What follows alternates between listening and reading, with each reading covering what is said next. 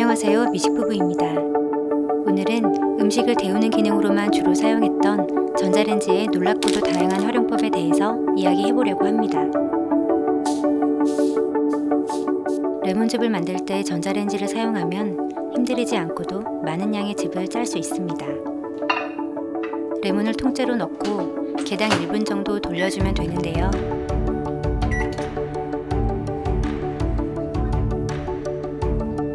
레몬이 따뜻해지면서 과육이 부드러워지기 때문에 손에 힘을 크게 주지 않아도 즙이 정말 알뜰하게 잘 나오더라고요.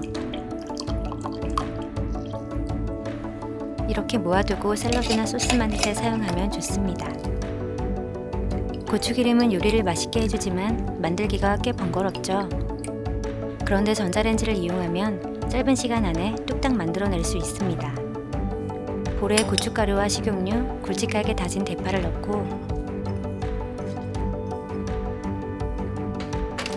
전자레인지에서 3분 정도 돌리면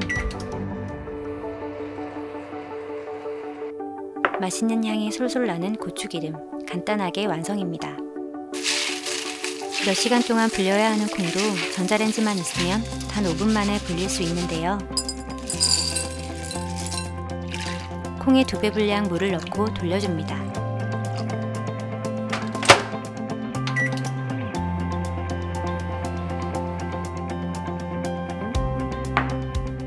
크기도 부풀고 껍질도 쭈글쭈글한 상태가 됐는데요. 깨물어 보면 설익은 콩처럼 제법 잘 불려졌습니다. 이렇게 불린 콩으로 콩자반을 만들면 삶는 시간도 단축되고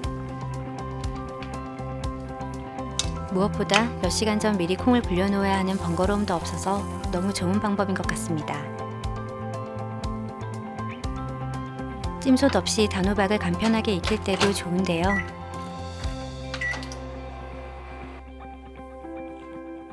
자르기 편하도록 살짝 익혀서 반으로 썰고 숟가락으로 속을 파냅니다.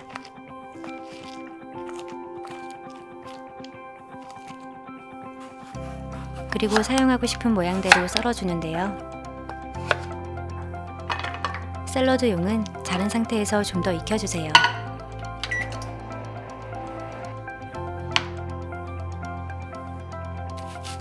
패티나 동그랑땡 등을 만들 때 볶은 양파가 필요한데 손도 바쁘고 팬을 쓰는 게 번거롭다면 다진 양파에 기름을 적당히 뿌려서 랩을 조금 헐겁게 씌운 뒤에 전자레인지에서 익혀보세요.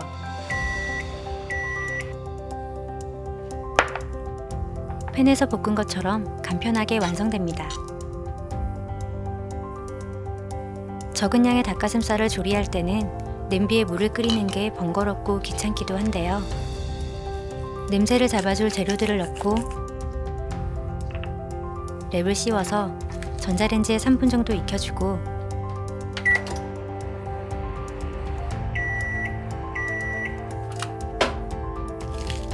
꺼내서 뒤집은 후에 다시 2분 정도 익혀주면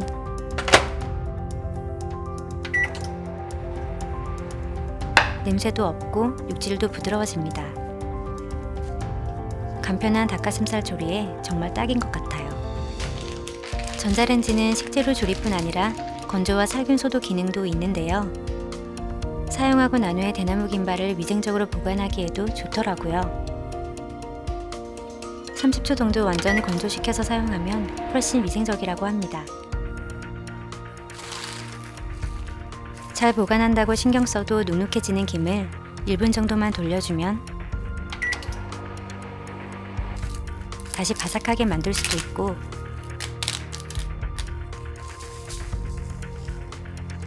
덩어리지고 눅눅한 가루 조미료들도 살짝만 가열하면 금방 보송보송해집니다.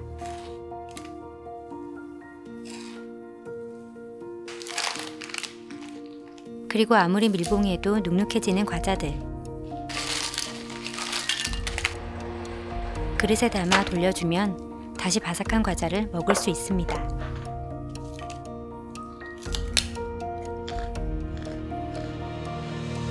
술안도 전자레인지로 간편하게 만들 수 있는데요. 노른자가 터지지 않도록 구멍을 몇 개 내주고 원하는 익힘 정도를 확인하면서 돌려주면 됩니다.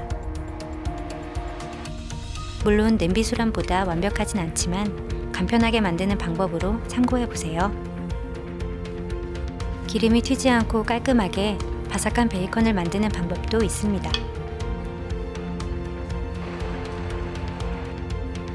굽는 동안 키친타올에 기름이 흡수되어 바삭한 베이컨이 완성됩니다. 우리의 주방 한 켠을 지키고 있는 전자레인지는 알면 할수록 놀랍고 편리한 기능들을 장착하고 있습니다. 전자레인지에 숨겨진 재능을 발굴해 나가다 보면 생활이 훨씬 간편해져서 고마운 마음까지 듭니다.